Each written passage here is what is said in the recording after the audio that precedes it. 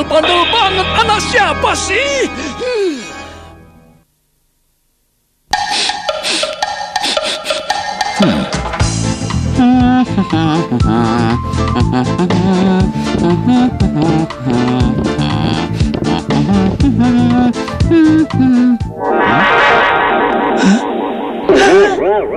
Aduh, Ma, gerobak kesayanganku. Perbuatan siapa ini? Ayo lari. Yang bagus, Li. Nah, selesai. Wah, hebat. Dengan begini nama geng kita pasti terkenal. Hei, apa yang kalian lakukan? Berani-beraninya ya, kalian mencoret-coret tembok rumahku, ha? Hei, jangan lari, dasar anak nakal. Awas ya kalian semua, kalian harus mempertanggungjawabkan perbuatan kalian ini.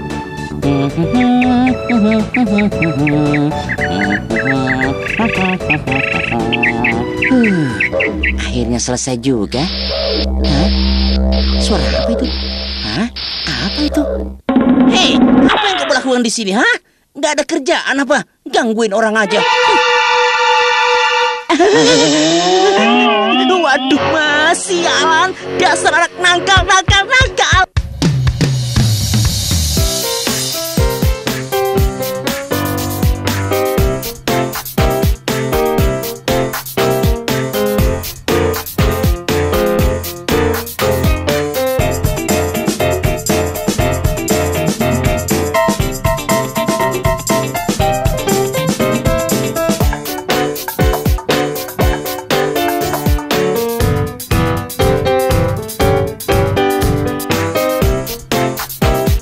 Pak RT, kita harus mengambil tindakan tegas terhadap anak-anak ini. Benar Pak RT, sebelum seluruh kampung kita menjadi kotor semuanya.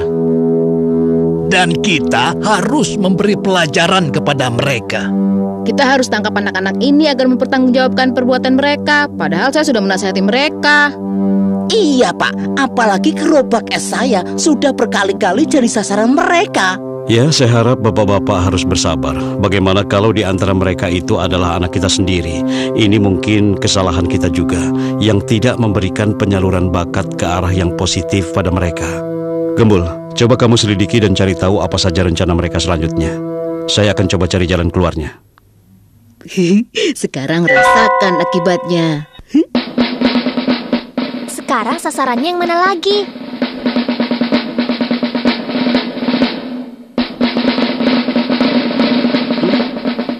Hei, lihat itu. Wah, ini sasaran kita. Hati-hati, jangan sampai terlihat orang. Kita buat gerobak ini jadi keren. Nah, kalian. Kami nggak ngapa-ngapain kok. Jangan ngapa-ngapain.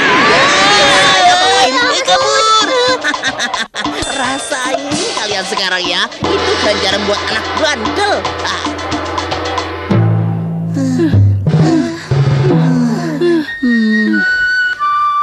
Wah, payah deh. Rencana kita gagal.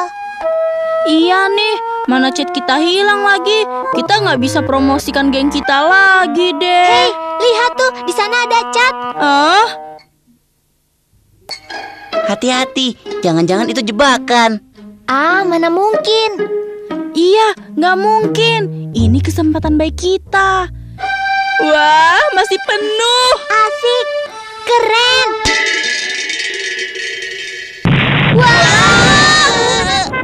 Loh, kenapa jadi begini? Rasakan kapoknya sekarang. Memang enak merica.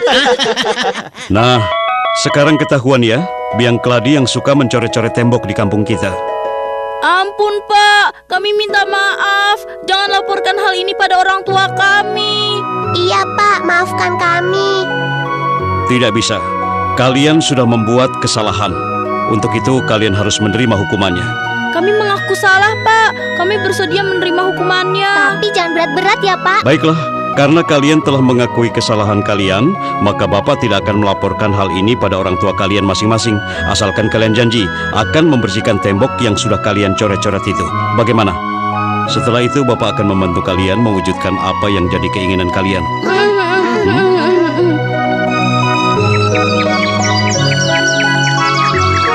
Waduh, capek juga ya. Makanya jangan ngomong aja kalau lagi kerja.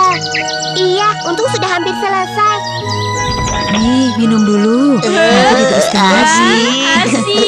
Ibu merasa senang kalian mau bertanggung jawab atas semua yang sudah kalian lakukan. Dan ibu tahu sebenarnya kalian ini adalah anak-anak yang baik.